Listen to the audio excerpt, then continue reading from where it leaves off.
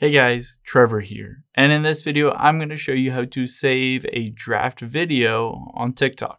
It's pretty quick and easy, so let's jump right in.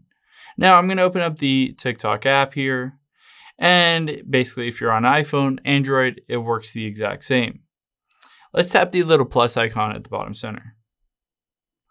You have a couple different options. One is even within photo, I can just start recording something and when I'm done and happy with it, I can always just hit the download button at the bottom right. And it says it has been saved to my album. And if I hop out of here and show you, you can see there is that little video. Now I have another option. Let's just hit the back button and say go to a 15 second video. And again, if you wanted to record a video in here, it works and looks a bit different. So let's say I wanted to make this video. That's probably good enough. And hit the check mark at the bottom right.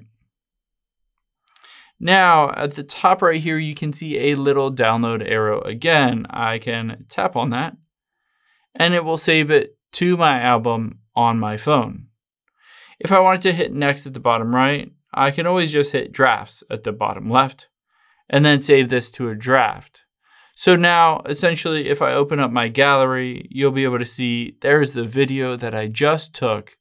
In addition to that, it is also in TikTok. If I just tap the little plus, and then I tap the upload at the bottom right, you'll see there are those two videos that I had just recorded if I wanted to basically bring them back. And from there, decide to post them, add music, edit them, all of that stuff. I hope this helps. If it did, hit the subscribe button down below. It really helps me out. And I'll catch you on the next one.